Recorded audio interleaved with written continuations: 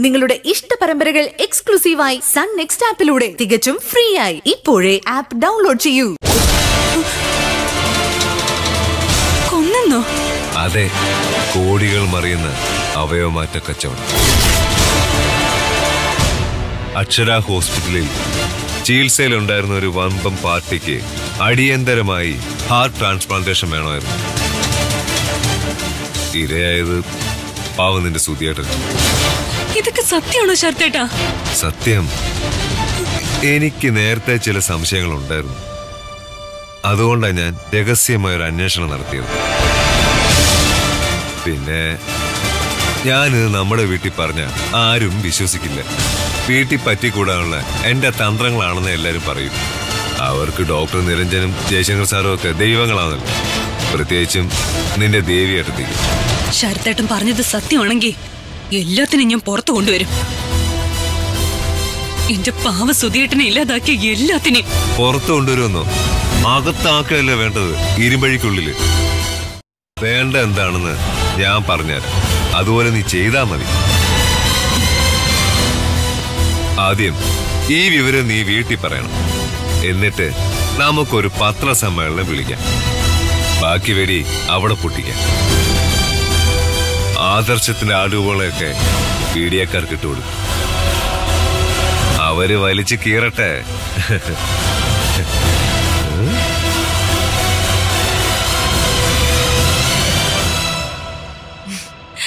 അങ്ങനെ ആദ്യമായി ശരത് ഒരു ഗോൾ അടിച്ചു.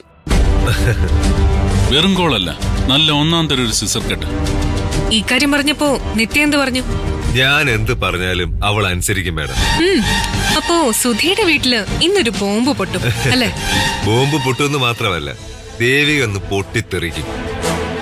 ഒറ്റക്കാര്യത്തിൽ എനിക്ക് ചെറിയൊരു ടെൻഷൻ ഉള്ളൂ ഈ ഇഷ്യൂ നമ്മൾ പൊക്കിയെടുക്കുമ്പോ ഹോസ്പിറ്റലിന്റെ റെപ്യൂട്ടേഷൻ. അതോർത്ത് വേവലാതിപ്പെടണ്ട. തൽക്കാലം എനിക്ക് ശത്രുക്കളുടെ പരാജയം വലുത്. അതെ ഒറ്റയടിക്ക് ഒരുപാട് കിളികൾ.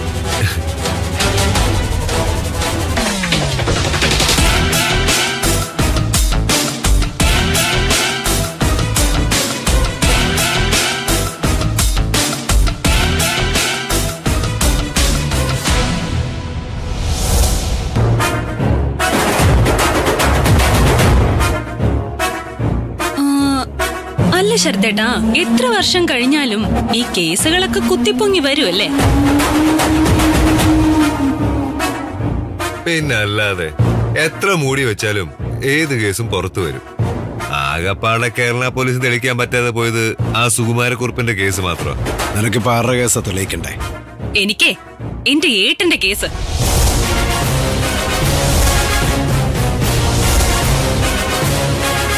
എന്റെ സുധിയേട്ടന്റെ കേസ്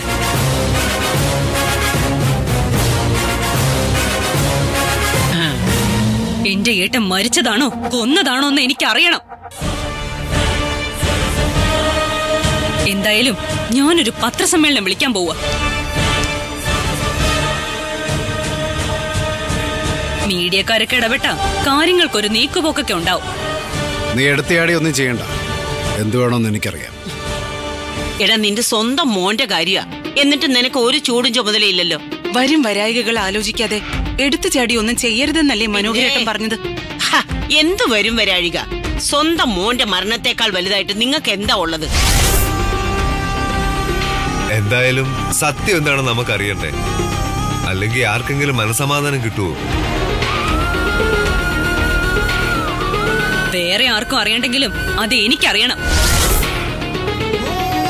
അതിനു വേണ്ടി ഞാൻ എന്ത് ചെയ്യും? അത് വേണ്ടെന്നാ പറഞ്ഞത്. എന്റെ മകന്റെ കാര്യത്തിൽ എന്നെ കഴിഞ്ഞുള്ള ഉത്തരവാദിത്വമൊന്നും വേറെ ആരും കാണിക്കണ്ട.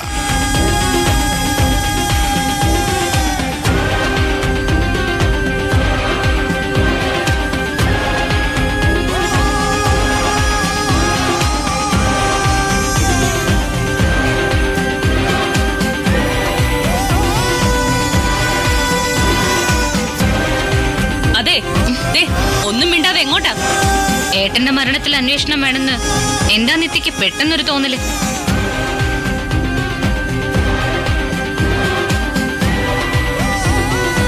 എനിക്ക് തോന്നിയാൽ എന്താ? എനിക്ക് സൗകര്യമുള്ളത് തോന്നും. ആര് പറഞ്ഞിട്ടാ ഈ പുതിയ തോന്നൽ? സ്വയം തോന്നിയതാണോ? അതോ ആരെങ്കിലും പറഞ്ഞു തോന്നിപ്പിച്ചതാണോ? അതെങ്ങനെയായാലും എന്താ? എന്റെ ഏട്ടിന് വേണ്ടി ചെയ്യാനുള്ളത് ഞാൻ ചെയ്യും. എനിക്കറിയണം എന്റെ ഏട്ടൻ മരിച്ചത് എങ്ങനെയാണെന്ന്. ആര് വിലക്കാലും ഞാനത് കണ്ടെത്തും. അല്ല ഇവിടെയുള്ളവര് ഈ അന്വേഷണത്തെ ഭയപ്പെടുന്ന എന്തിനാണ് എനിക്ക് മനസ്സിലാവാത്തത്? കുറ്റകൃത്യത്തിൽ പങ്കാളിയായൊരു ഭയപ്പെട്ട പോരെ? അതെ ഇവിടെ ആർക്കും ഒരു ഭയവും ഇല്ല ആ കാണാം. ഒന്നും ഒളിക്കാനും മറക്കാനും ഇല്ല പക്ഷെ വെറുതെ ഒരു ആരോപണം ഉന്നയിച്ച് മരിച്ച് തലയ്ക്ക് മുകളിൽ നിൽക്കുന്ന ഒരാളിനെ ചർച്ചകളിലേക്ക് വലിച്ചഴക്കാൻ ഞാൻ സമ്മതിക്കില്ല. അതെ വ്യക്തമായ തെളിവുകൾ ഉണ്ടെങ്കിൽ ഏത് അന്വേഷണത്തിനും ഇവിടെ ആർക്കും ഒരു എതിർപ്പുമില്ല. അന്വേഷണ തെളിവ് കിട്ടൂ. ആ അതെ അതെ. സത്യം കണ്ടെത്തണമല്ലോ. അതിന് അന്വേഷണം നടത്തണം. തെളിവുകളെല്ലാം നശിപ്പിച്ചിട്ട് ഇപ്പൊ തെളിവും കൊണ്ട് വരാൻ പറയുന്നു നിത്യേ. നീ ആവശ്യമില്ലാത്ത കാര്യങ്ങളിൽ കയറി ഇടപെടണ്ട. ഞാൻ ഇടപെടും. ആര് വിലക്കിയാലും. അതോ ഇനി ഇവർ കൊന്നതാണോ എന്റെ ഏട്ടന്? ആ, വെറുതെ ഷൗട്ട് ചെയ്ത് ഷോ കാണിച്ചിട്ട് കാര്യമില്ല. ആ മരണത്തിന് ഇവർക്ക് കിട്ടിയ കോമ്പൻസേഷൻ ആണോ ഇപ്പോഴത്തെ ജോലി എന്ന് പോലും എനിക്ക് സംശയമുണ്ട്. എല്ലാം ഞാൻ കണ്ടുപിടിക്കും. നിത്യേ മോളെ മോളകത്ത് പോ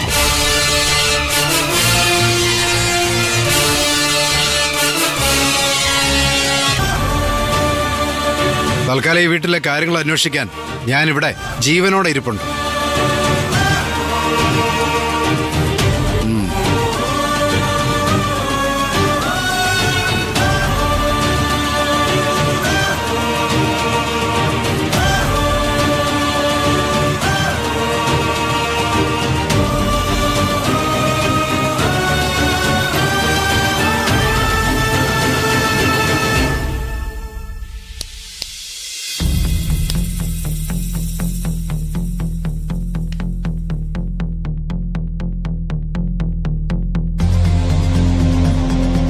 ശരത്തേട്ടാ ശരത്തേട്ടൻ പറഞ്ഞതുപോലെ ഞാൻ വെട്ടിത്തുറന്ന് പറഞ്ഞല്ലോ.